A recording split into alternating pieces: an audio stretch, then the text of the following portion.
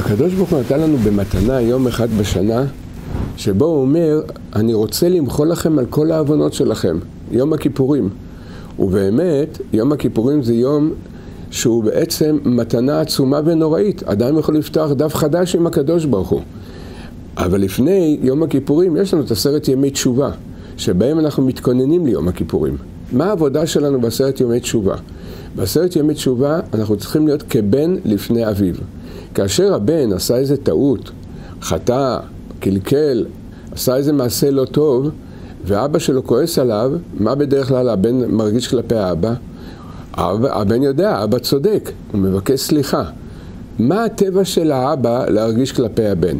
האבא אוהב את הבן, הקדוש ברוך הוא הטביע בתוך הלב של ההורים לאהוב את הילדים שלהם.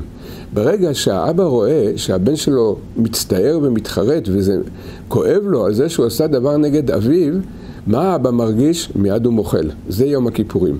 אבא שלנו מוחל לנו ביום הכיפורים. כל מה שאנחנו רק צריכים לבוא אליו, לא בעצבות, לא בדיכאון, להגיד לו, אבא, אני מצטער, אני מתחרט על כל מה שעשיתי, אנא תמחול לי. אנחנו מקבלים יום כל כך קדוש ונפלא, שבו הקדוש ברוך הוא אומר לנו, אתם נקיים לגמרי, במוצאי יום הכיפורים אין לכם עבירות. הכל נמחק, רק שאנחנו צריכים לעשות את שלנו.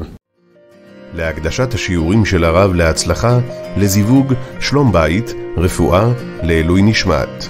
התרומה עבור עזרה להפצת התורה. ניתן לפנות לטלפון 02-650-2929.